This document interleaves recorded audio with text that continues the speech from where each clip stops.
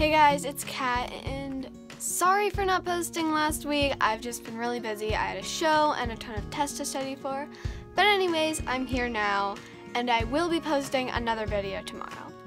Anyways, for this video, we're going to do a tutorial for French braids. We're gonna start by brushing out Ruthie's hair. Make sure to do it in small sections, starting at the bottom and working your way to the top. I'm also going to spritz her hair with a bit of water.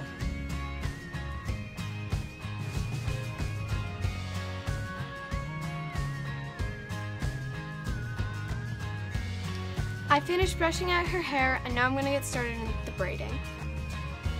We're going to start by taking the hair and dividing it right down the middle.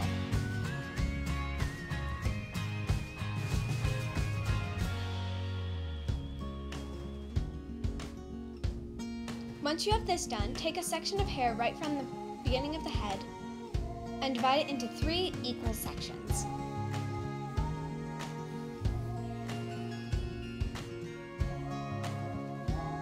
Take the left strand and cross it into the middle.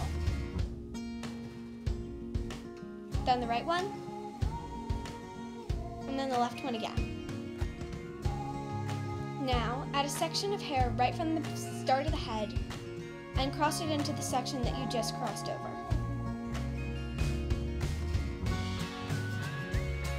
Now bring in the right one again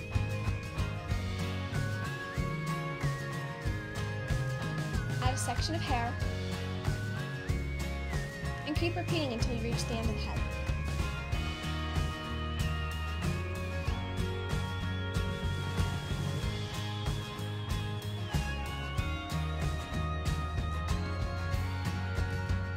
When you're done, you should get something along the lines of this. Anyways, thank you guys so much for watching. As I said, there will be another video tomorrow. But in the meantime, please be sure to like and subscribe. Bye!